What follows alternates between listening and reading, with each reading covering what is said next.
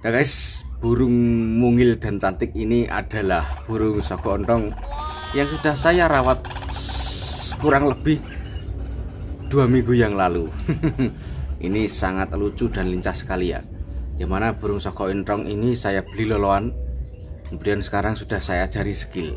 Nah, mau tahu bagaimana skillnya? Lihat videonya berikut ini.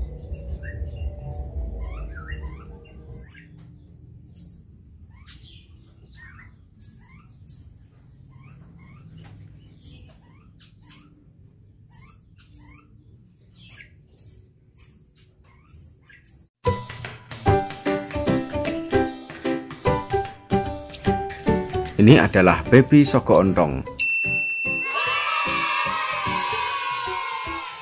Nah, baby soko ontong ini sudah saya rawat kira-kira dua minggu yang lalu. Saya rawat dan saya loloh, kemudian saya latih, dan sekarang alhamdulillah sudah punya skill. Ketika saya panggil, dia langsung datang menghampiri. Terbangnya itu loh guys, lucu sekali ya, ngeleper-ngeleper ya kepakan sayapnya itu kayak kupu-kupu lah bisa mengambang gitu loh di udara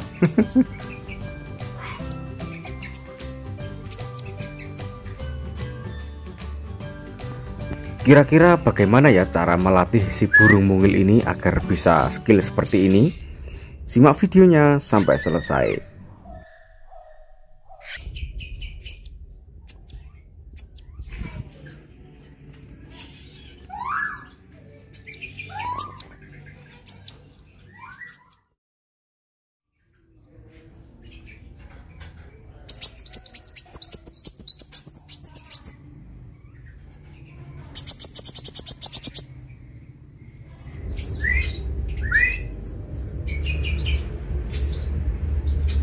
Nah guys, ini adalah burung soko ontong yang dua minggu yang lalu saya beli. Ini sekarang sudah skill. Jadi melatihnya bagaimana? Cara melatih burung ini cukup simple tapi membutuhkan trik khusus. nah ini burung kan masih dalam uh, keadaan loloh. Eh, ini sudah mandiri Nah, ketika punya lolohan sogon seperti ini, hal yang pertama kita lakukan adalah melolohnya dengan baik dan benar dulu, guys. Contohnya, kita melolohnya dengan pakai full EF, yaitu kroto. Nah, biasanya saya beri seperti ini. Ini kroto. Nah, jadi supaya dia sehat, kita kasih makan kroto dulu. Dulu, jangan buru-buru dilatih kalau dia sekiranya sudah bisa terbang sehat lincah baru kita latih.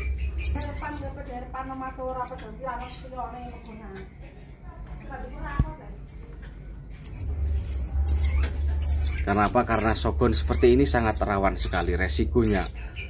Fisiknya kurang bagus jadi kita latih. Kalau sudah bisa terbang dan sehat dan lincah. Ini makanan hariannya adalah kroto ini sebenarnya sudah mandiri. Makan madu setiap hari.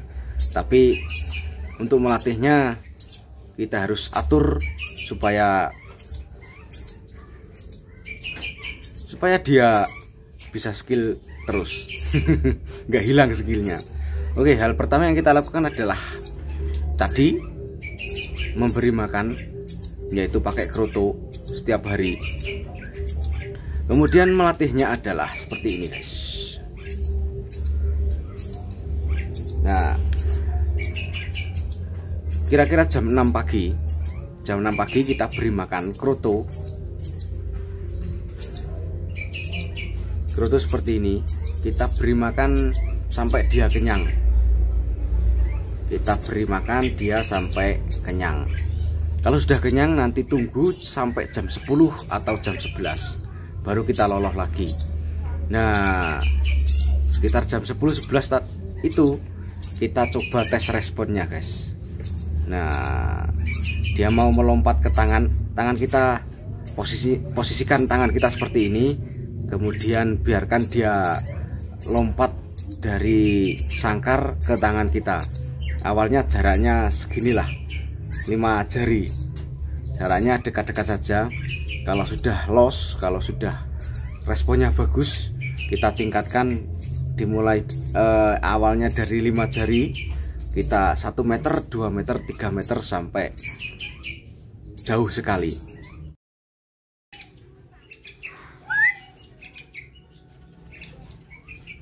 Nah setelah jam 10 kita beri makan dan latih. Kita jangan kita puasakan lagi 4 jam guys. 4 atau 5 jam jadi jam 5 so, eh, jam 3 sore atau jam 4 sore baru kita kasih makan lagi dengan kerutu. Dengan kerutu seperti ini. Tuh. jam 3 sore kita kasih eh kita loloh pakai kerutu. Sambil dilatih juga. Pokoknya harus rajin lah jangan sampai kita melolosnya di dalam sangkar guys. Karena itu sangat berbahaya.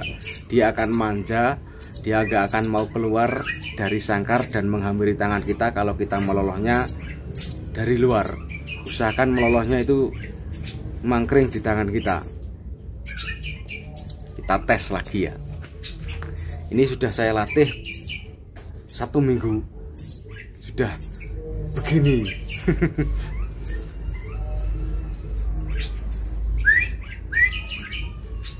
Oh.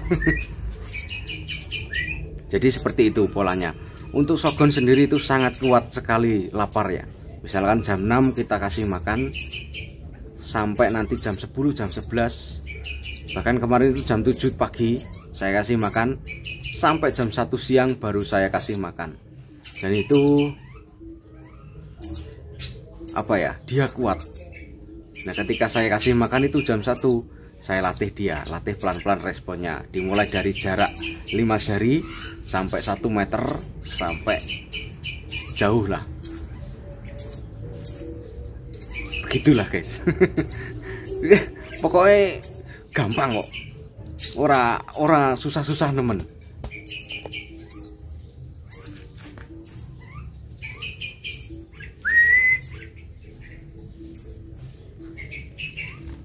Yeah. Mantap. Ini terbangnya kayak kupu-kupu. Kiri kiri kiri kiri kiri kiri.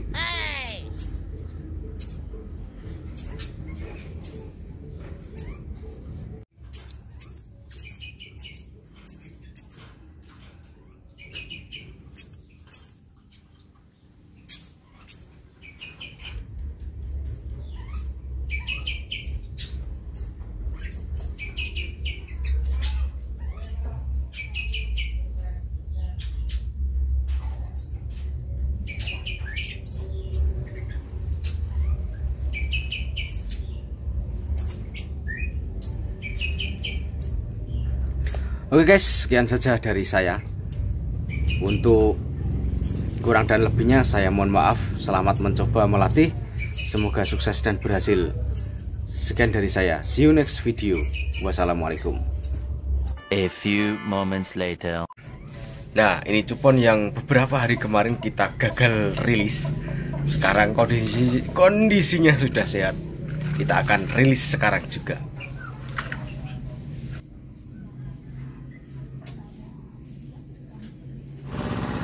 Oke guys, kita langsung rilis burungnya.